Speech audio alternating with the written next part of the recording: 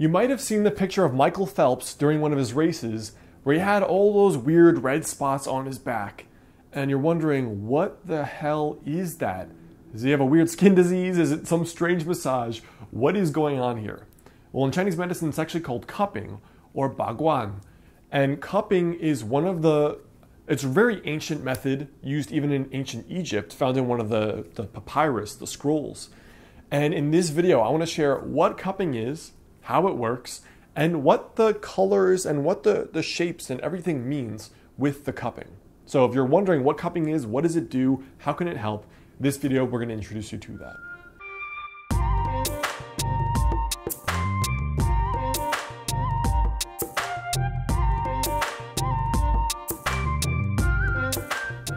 Hey, I'm Alex Heyne, author of the book Master of the Day, also a current doctoral student in traditional or classical Chinese medicine. Now, I've included the first link in the description there. That's actually for a free download on five ways or five habits to add 10 years to your life with traditional or classical Chinese medicine. So if you click that link below and you add your email, you'll get a series of emails from me and the download there. So first of all, what is cupping? I'm going to bust out a little set here.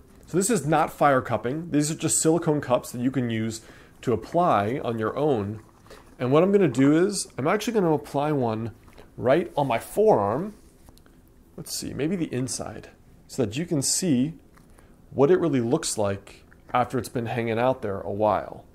So I'll apply two cups while we're here, and at the end of the video, we're going to take them off, and I can show you exactly what that looks like.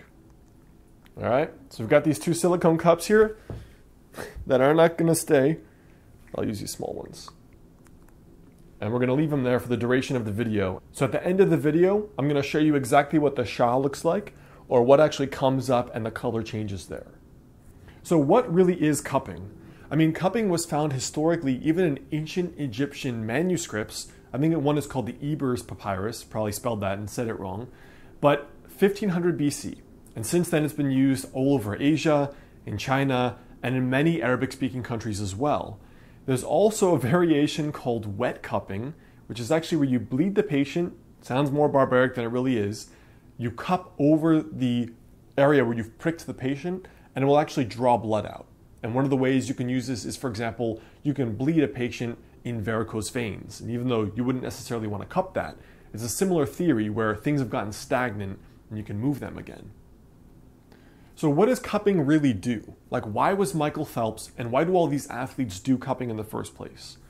One of the things, first of all, in terms of biomedical lingo and Chinese medicine lingo, is that it moves stagnant blood or it just moves blood and lymph. It increases circulation to that area. In Chinese medicine, we call this moving qi and blood.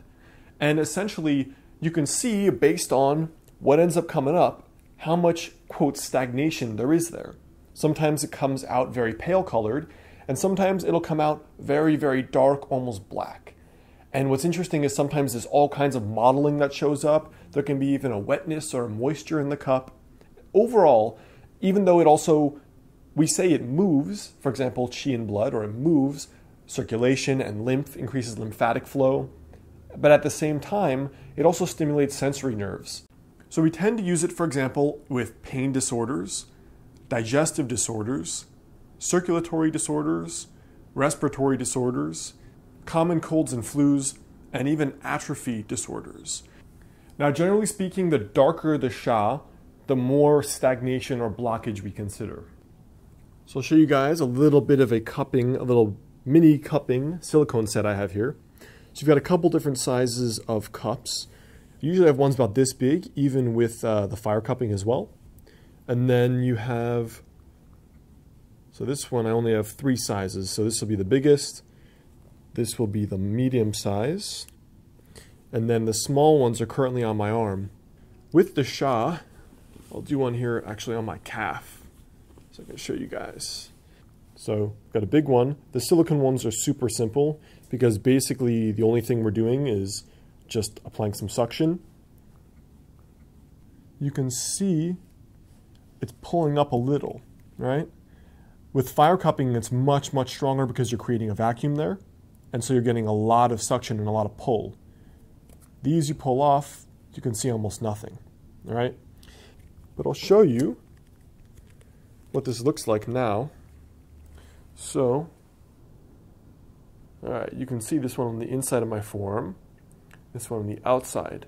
And you can already see the discoloration here, right? And I'll take this one off so you can see. There's some discoloration here. That would be maybe maybe light to moderate. Um, and obviously my forearm is kind of an unusual place to cup. You wouldn't normally cup that, but I wanted to show you guys because I don't have a, another person to demo here. And I'll show you what my other side looks like. This one is much redder. You guys can see that one. Much darker color. And so really, this one, see this is already gone. This is really almost no Sha. But even that, pretty big difference.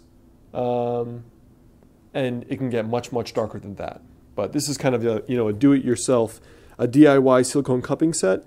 Um, honestly, it's pretty good. This is, not too bad to do uh, some self cupping, um, but it's not going to be as strong as the fire cupping itself. Now, I hope that helps provide some insight on what cupping actually is and what we use it for. So Phelps and other athletes are probably using it because they have sore muscles and probably even tendon injuries. So probably it's an attempt to increase blood flow to that area. So that's a very simplistic way of using it. Again, if you want to stay in touch, you can grab that free download, the first link in the description, Five Habits to Add 10 Years to Your Life with Traditional or Classical Chinese Medicine. You can also check out my last two videos right there and right there.